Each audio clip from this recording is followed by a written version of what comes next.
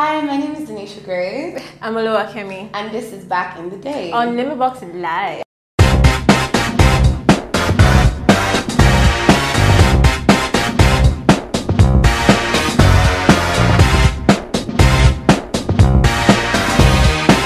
So today we'll be talking about childhood habits. You know, those mm-hmm. things that you could probably get Nothing away with as a kid, but right now everybody's just gonna be looking at you like, what's going on? As in, So, so baby girl, what were your childhood habits? So let's hear you. okay, so I'll say the first one was treats. Yeah. That one I didn't do it though, but I used to beg.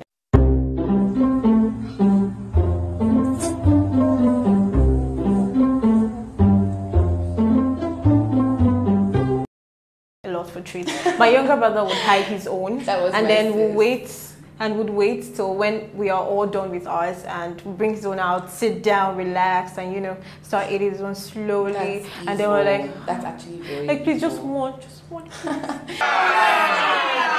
That's actually totally evil. My sis was the person that used to do that. You know, she would just. Okay, she wasn't such a sugar person. Me and my brother, we are sugar people. Okay. So you know, probably if we could eat like maybe two or three chocolate bars at once, she would probably eat one and a half, keep the half for later, eat the one tomorrow. You know, all this. As in, it stretches out. So when we were looking for sugar to satisfy Oh. our urges, she had enough, like a gold mine, and none of us were just looking at her like.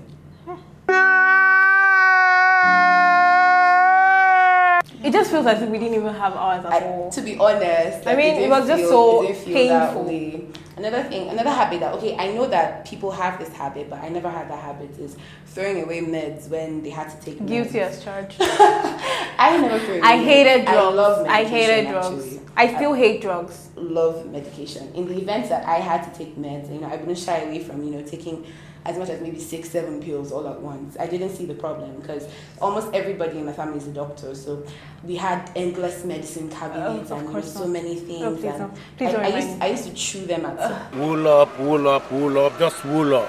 My my own was I would when when my mom gives me paracetamol or Yeah. any drug, then Yeah. once she just turns back, I'll just carry like this. You know you can be prosecuted for that. No, it was not taking it. That was the point.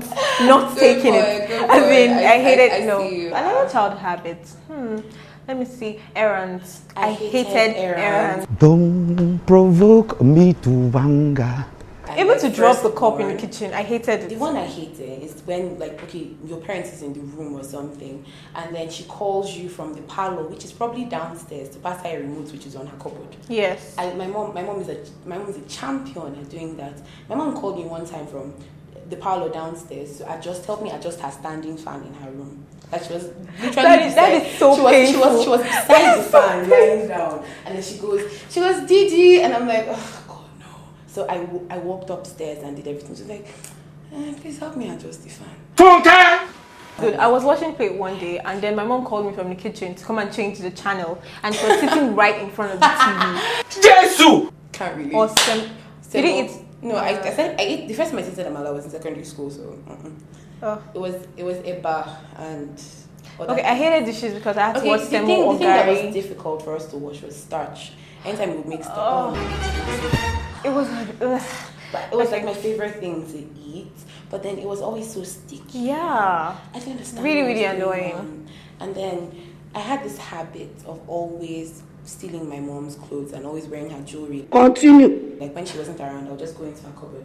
And it wasn't like they too, were, funny it wasn't enough. Like they were my size, so I'll just go in her dresses and with her jewelry and everything. She caught me one day, Oh. and instead of like, she didn't do anything. She just laughed. Mine was stealing meat from the pot and fish.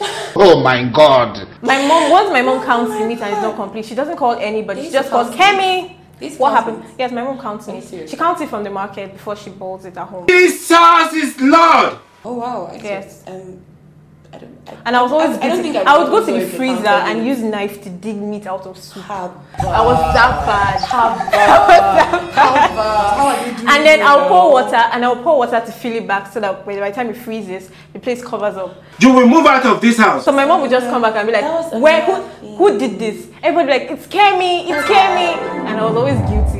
Are you serious? So that was another thing, you know. This this isn't a childhood habit here, but it's like a parental habit of Yeah. how they will tell you not to put your hand your hand inside their food the soup will not like get bad and stuff like that.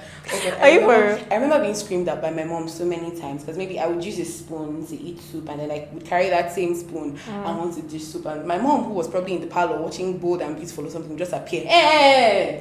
As in, My mom's always don't use your left hand to take food from the pot Are because the serious? right to get spoiled. Okay. So whatever food was in the pot to get spoiled. really? I don't oh know. my god, you know. So another bad habit we had then was front seat controversy. Get out of here right now. Who would Same. sit in front? Same. My birthright, actually. I mean, I think every first would- child is supposed to sit in front.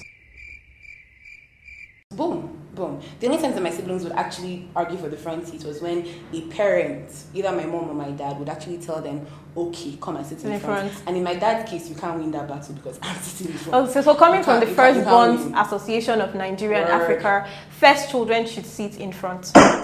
It is our birthright. Yes. We came 1st mm-hmm. So you know what? I want to hear your childhood habits in the comment section. So please keep the conversation going. Yep. Don't forget to follow us on every possible social media platform. I'm Yep, talking on Facebook, Twitter, Instagram, of course, you know it. right here on YouTube. If you haven't subscribed, the subscription button is down here somewhere. So All right, it's your on girl. It's Yoruba Pepe. and German juice. All right. Take care. See you next week.